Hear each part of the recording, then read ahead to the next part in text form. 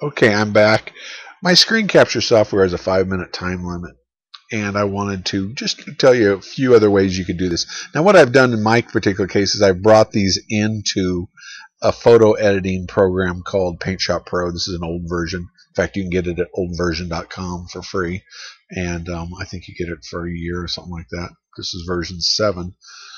But you but my point is you could have done this with um, just open up open up separate windows in like your internet explorer or firefox or whatever internet you use and then just tile the pictures and put them in side by side.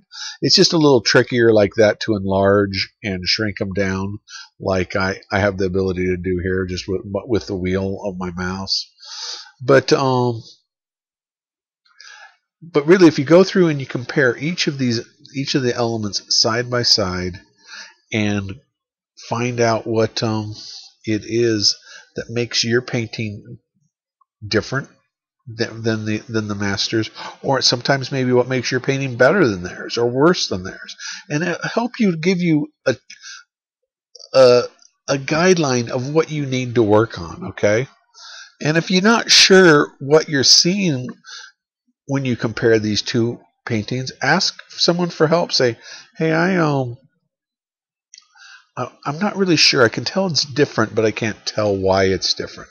So get enlist someone that you think might know and get some help with that and find out why it is different and what it is that's different about the tomb and how you could make yours look more like that.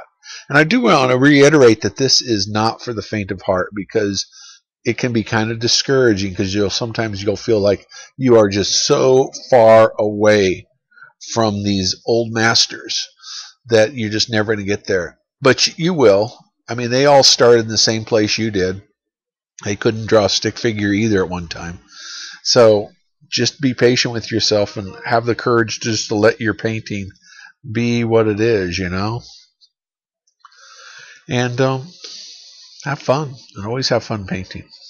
All right. And um, if you're ever interested in classes, maybe think about taking one of my classes. And this is the kind of stuff we talk about. And I show you paintings that um, I do, and I do demonstrations, and then you can send your pictures in, and I do a little mini, um, like a tip, just based on your painting for you. You know, so it might be something you might want to look into is taking one of my classes please check them out at least. You have a fantastic day, and thank you for sharing these eight minutes with me. Have a great day.